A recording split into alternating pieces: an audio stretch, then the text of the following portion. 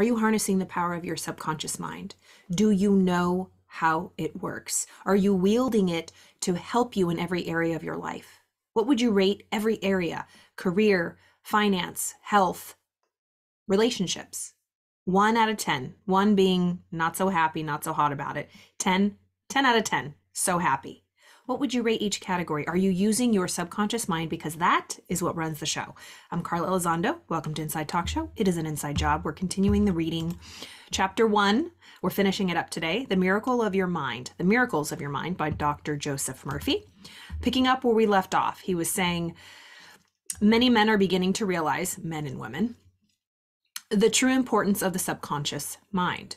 In business, many people are using it to achieve success and promotion. This will tell you how old this book is. Edison, Ford, Marconi, Einstein, and many others have used the subconscious mind.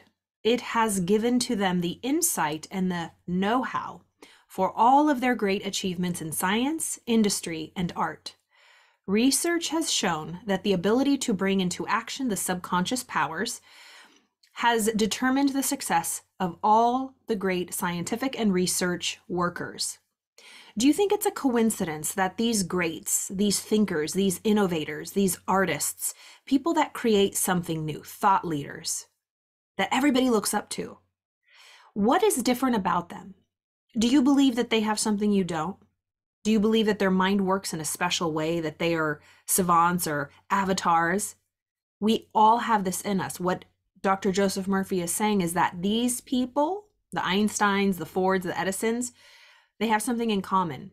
They understood how their subconscious mind works, that it is from that, that creative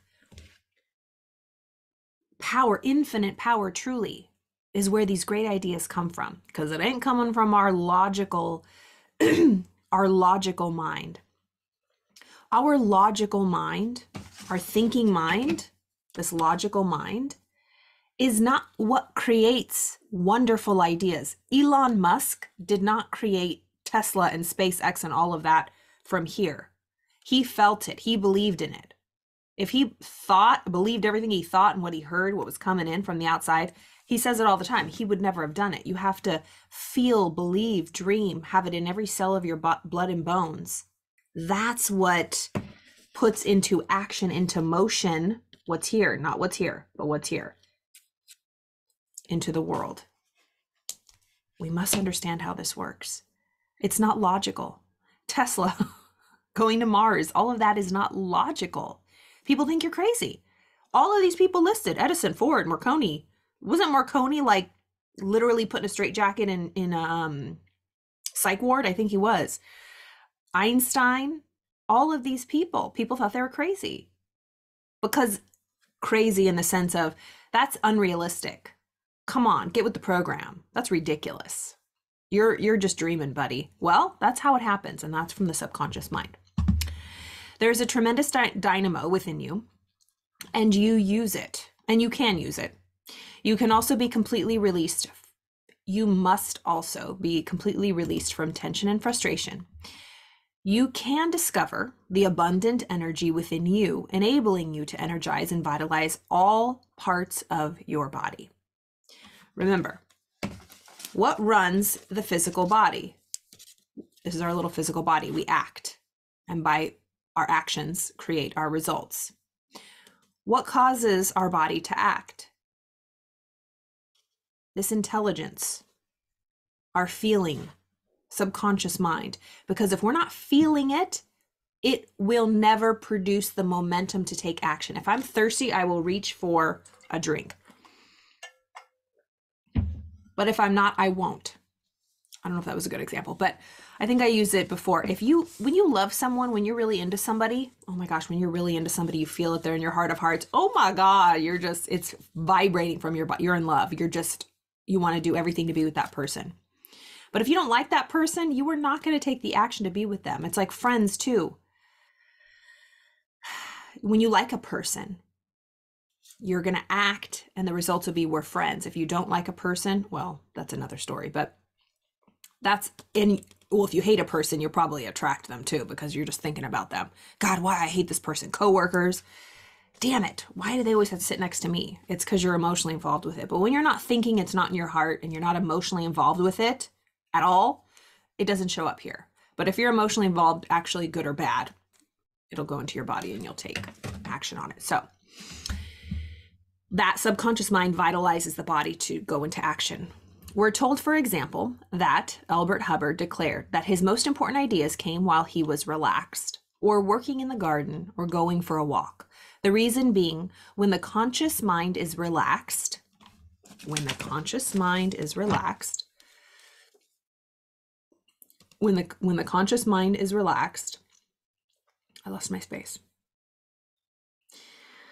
So when the conscious mind is relaxed, the subconscious mind, the sub subjective mind, and the wisdom comes to fruition. It comes forth. There are oftentimes inspirational uprushes when the conscious mind is completely relaxed. So he's saying that important ideas come when this part is completely shut off, right? It's completely shut off because this is free to just be and to just whoosh, flow. This is not getting in the way. That's why sleep is so important. Always be careful what you go to sleep thinking about, what you're emotionally involved with, because it will marinate overnight in the in the garden of your mind. Truly. When we go to sleep, so remember this is the seed house, this is the garden. So when we shut that down, all the seeds fall right into the, the subconscious mind, regardless. Because we're no longer holding them here. They just, they drop. They just release. It's like we're holding a gate up all day consciously. And then when we release, we let them fall. But if we are involved in positive, solution focused thoughts and we relax, we're gardening, we're walk, taking a walk, we're it it falls right here and we get that answer without struggle or strife because we've shut out this and we're engaged in allowing receiving all right how often have you wandered at night wondered at night when the answer to a particular problem was and when you turned let me read that again. How often have you wondered at night what the answer to a particular problem was, and when you turned the request over to the subconscious mind, it came, it gave you the solution in the morning. Have you ever felt that? Don't you ever feel good after you've really thought about something or something bad happens in the morning? It's a little bit resolved. Okay. So it's given over to the subconscious mind. It gave you the solution in the morning.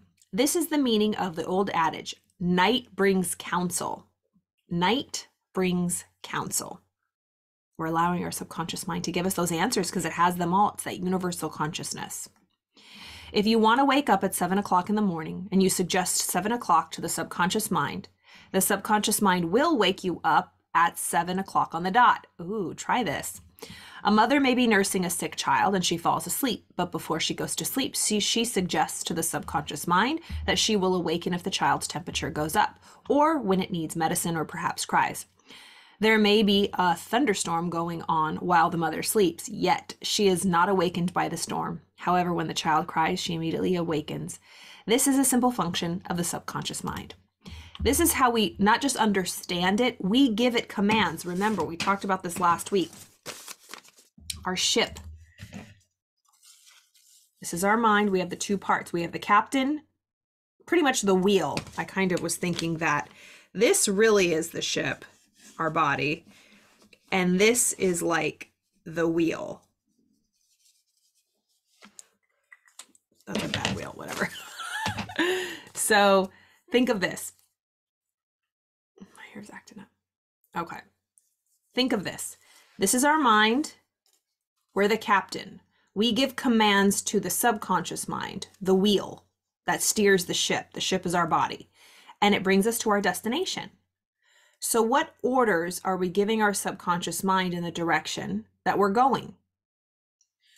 We consciously, that's why we have to really pay attention to what thoughts and what things we're, what mental diet we are engaging with. What mental diet plan are you on? Is it full of negativity, pessimism, problem focused? Or is it optimism, solution focused, happy thoughts that make you feel good.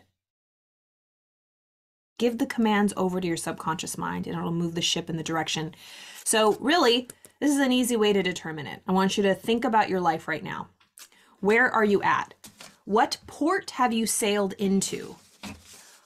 What port of life are you in? What port do you find yourself in? Do you like the port you're in? The job you go to, the relationships that you surround yourself with, your financial situation, and your health, your body. What port are you in? Do you like it? What destination have you arrived at? Where do you find yourself? If you don't like it, this helps understanding how we move and get out of it. Life is always changing, constant changing. Nothing is permanent, nothing. Everything is always changing. We must, why not just take the steering wheel and go into the direction that we want? Why not? A lot of times we don't feel worthy. It's about worthiness. It's about not feeling like we deserve it. It's just worthiness, basically. Do you feel that life is on your side? Do you feel that God is on your side? Do you feel that the forces that be, whatever you want to call it, is on your side? Do you feel like the universe is on your side? Do you feel like you live in a friendly or a hostile universe? You have to make that decision because it is happening for you, whether you know it or not. Depending on your results, you can probably choose. Do you have an unconscious belief that life is against you? that the universe is against you, that people are against you, that God is against you, that people don't want you to win, that God doesn't want you to win, that God doesn't want you to have what you want. Do you think that? That's an inquiry you inquiry you have to go inside and really explore for yourself. What do you truly believe? What are your really root thoughts about life?